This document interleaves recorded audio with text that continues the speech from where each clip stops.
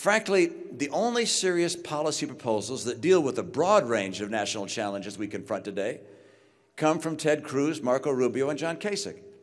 One of these men should be our nominee. Now, I'm far from the first to conclude that Donald Trump lacks the temperament to be president. After all, this is an individual who mocked a disabled reporter, who attributed a reporter's questions to her menstrual cycle, who mocked a brilliant rival who happened to be a woman due to her appearance, who bragged about his marital affairs, and who laces his public speeches with vulgarity.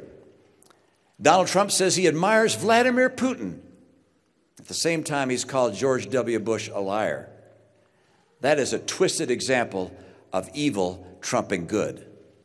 Think of Donald Trump's personal qualities the bullying, the greed, the showing off, the misogyny, the absurd third grade theatrics. You know, we've long referred to him as the Donald.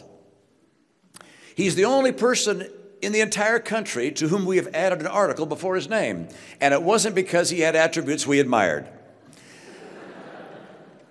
now imagine your children and your grandchildren acting the way he does. Would you welcome that? Here's what I know Donald Trump is a phony, a fraud. His promises are as worthless as a degree from Trump University.